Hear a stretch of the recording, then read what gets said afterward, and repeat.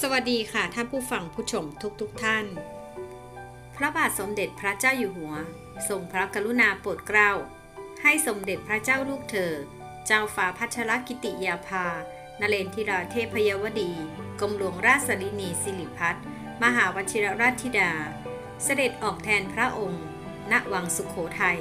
พระราชทานพระวโรกาสให้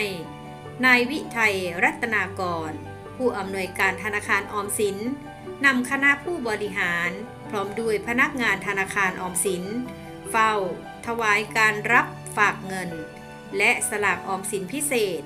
เนื่องในโอกาสวันคล้ายวันสถาปนาธนาคารออมสิน วันที่ 1 เมษายน 2564 เมื่อวันที่ 8 เมษายน 2564